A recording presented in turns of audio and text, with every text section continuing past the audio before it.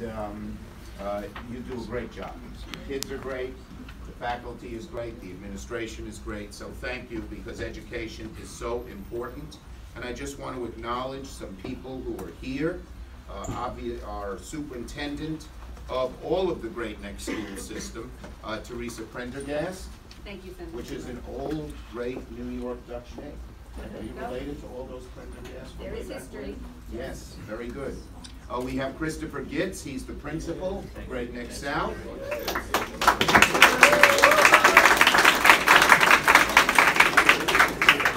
He is, you in the media will note, a very popular principal. Sometimes you go and you introduce the principal and there's silence. But not here, that's good. And we have the student council members who are right behind me, including a good number of Spencers. Okay, uh, so thank you, and we also have a pulmonologist from one of the great healthcare institutions, not just on Long Island, but in all of America, uh, Northwell, and we have Samir Kanjo, a Long Island resident, because he told me he went to St. Anthony's, a little further out, where I also have some people who work for me come from. So it's uh, good to be here. Now, let me um, say first, uh, why are we here?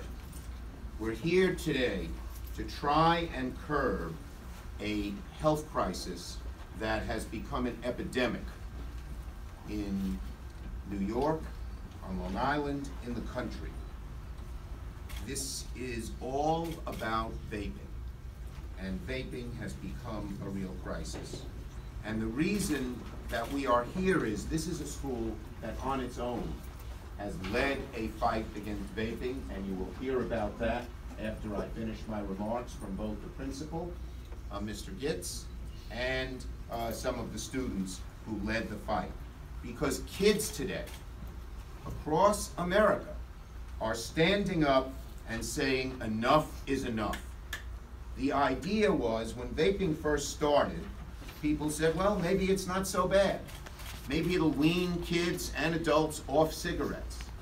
And it's, it doesn't have tar and not as much nicotine as cigarettes. We have found just the opposite. It itself has become an epidemic, and more and more young people are smoking because vaping is a pathway to smoking as bad as it itself.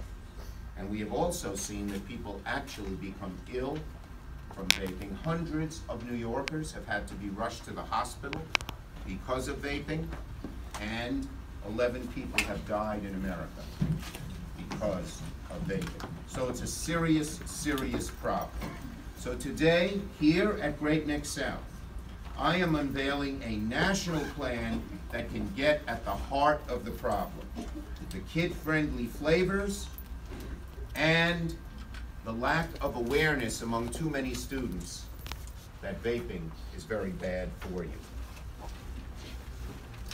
And today, this is more important than ever. New York State took the lead and said, we're gonna ban the flavors. And a court just said, no, you can't. So the need for a federal law is more important than ever, ever before. Senator, why don't you show the Now? I will, I will. Where are they? Got so many papers here. Let's see, where are they? Here. I will. Thank you, you can just keep that. This is Mike Iannelli who works for me. He's from Wantagh High School. Bibles. Um, in any case, uh, this, let me just give you some statistics here, because this has become a huge problem. When you hear the statistics, it's gonna make your hair stand on edge. The use of e-cigarettes among high schoolers in one year alone nearly doubled, from eleven point seven percent to twenty point eight percent. That means there was a staggering 1.5 million more young people using e-cigarettes in 2018 than 2017. And if we do nothing, you can be sure the numbers for 2019 will be even higher and more troubling. And this idea that vaping would reduce tobacco use, overall tobacco use in the same year among high school students jumped from 19.6% to 27.1%. We had been making great progress in discouraging all people, all people of all ages, but particularly younger people from smoking. Are aiming the cigarettes at young people, people even younger than the people here at Great Neck South, but middle schoolers. And so they don't just talk about vaping, they talk about these flavors. Here are three. One is called Drippin' Whip. One is called Vanilla Milk and Cookies.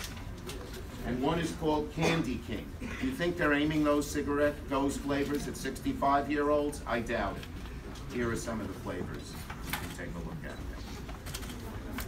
Let me show them. Can you guys see? You see these.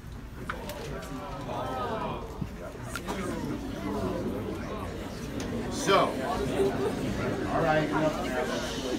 You did a good move. Now. Um, so we have to do something about this. There are not 11 deaths. The number keeps going up. There were 18 deaths. That's CDC.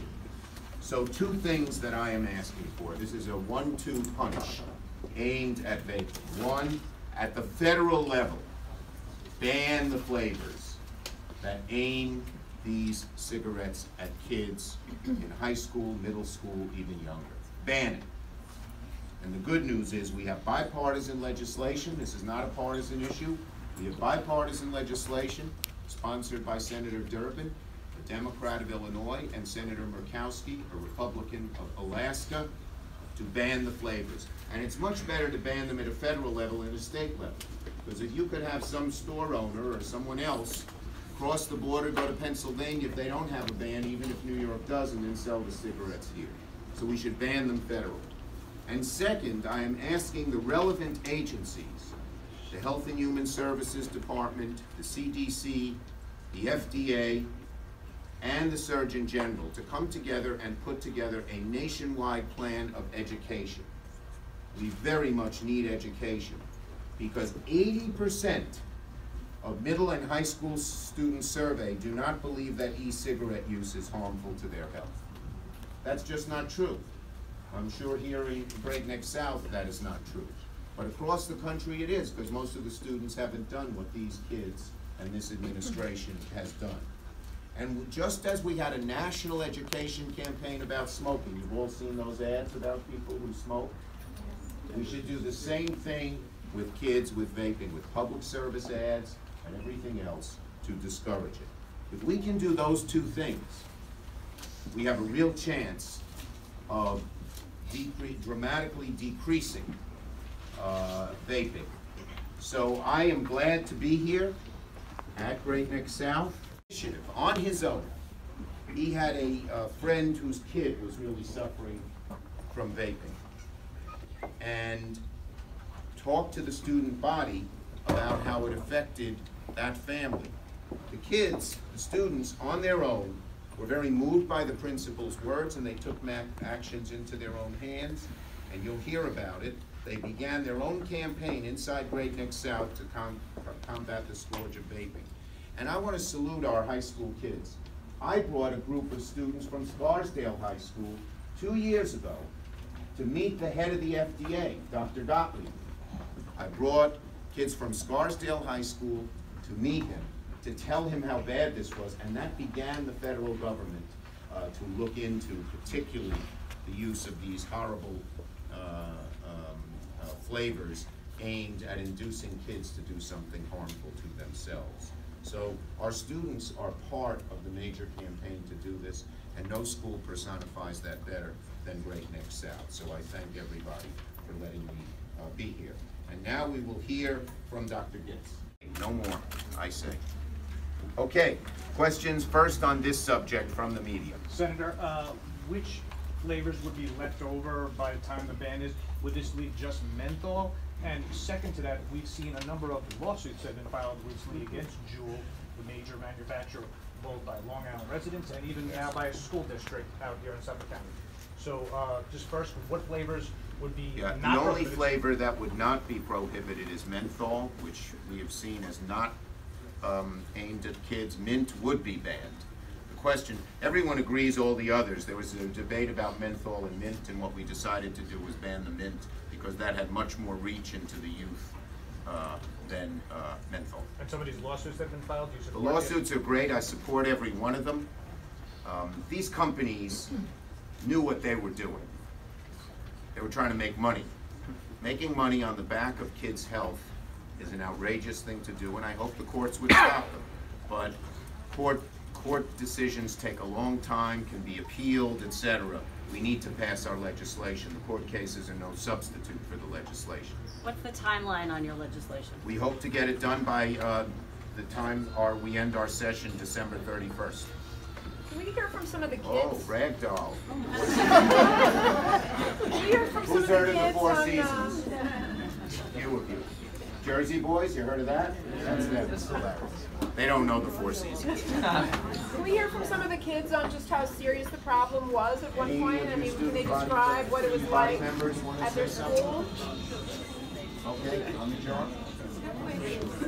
Ragdoll, ooh, that's ragdoll. Just kind of, if you could describe, uh, you know, at one point, at its worst, what troubled you the most? Was it all, you know, was it tough to, are you afraid to go to the bathroom at school? I mean, what was going on? Well, I'm not going to say that it's uh, uh, an extremely serious thing here at Great Neck South, especially.